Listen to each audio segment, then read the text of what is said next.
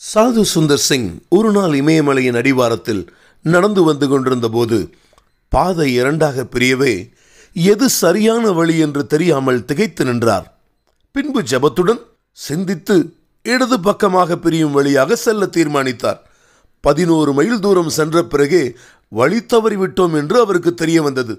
அவர் மனம் சற்று வருந்தியது எனினும் பாதை தவறியதில் கர்த்தருக்கு ஏதோ ஒரு நோக்கம் இருக்கிறது என்று எண்ணியவர். மேலும் சிறிது தூரம் நடந்து சென்றார். அப்பொழுது பாதை ஓரத்தில் உட்கார்ந்திருந்த மனிதன் அவரை கூப்பிட்டான்.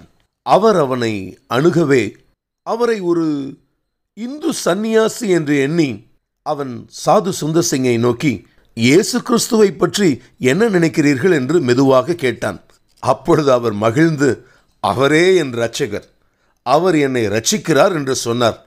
அவன் மிகுந்த குதூகலத்தோடு இயேசு கிறிஸ்துவை பற்றி போதிக்க ஒருவரை அனுப்ப வேண்டும் என்று நான் ஆண்டவரை நோக்கி வேண்டிக் கொண்டிருந்தேன். புதிய ஏற்பாட்டு புஸ்தகத்தை எடுத்து காட்டிக்கொண்டு இந்த புஸ்தகத்தை நான் ஒழுங்காக படித்து வருகிறேன். அதில் சில பாகங்கள் கருகலாயிருக்கின்றன. அவைகளை விளக்கி தருவதற்கென்றே கர்த்தர் உங்களை அனுப்பியிருக்கிறார் என்று எண்ணுகிறேன் என்றான். இதை கேட்டபோது வழி தவறியதில் உண்டான தேவ ரகசியம் பிடிப்பட்டது ஆண்டவரின் அதிசயமான நடத்துதலை பற்றி ஆழமாய் உணர்ந்தார். அன்று இரவு அம்மனிதனுடன் ஆனந்தமாய் கழித்து வேதத்தின் உள் அர்த்தங்களை கற்பித்தார்.